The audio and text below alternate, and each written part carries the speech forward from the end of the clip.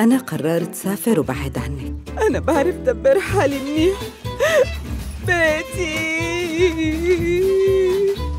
شافوها شباب كتير بس ما حدا رضي فيها هلا لو كنت صبي ما كان أحسن لي؟ وأول نسخة بتنباع من خمس سنين لهلا هي نسخة الكتاب يلي اشتريتها بيتي وين بلاقي الكاتب؟ انت ليش بدك اياه؟ متشوقة كثير تتعرفي عليه معي